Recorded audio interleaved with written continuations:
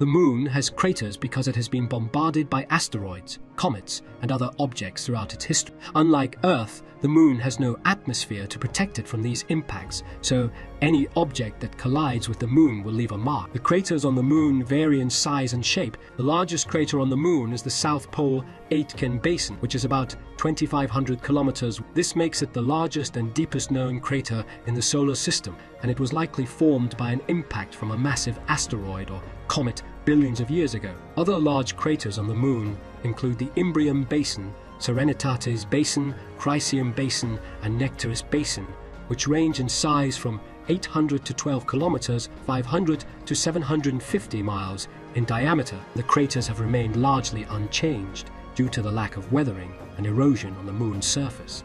As a result, the moon's craters provide valuable information about the history of our solar system and the processes that have shaped it over time.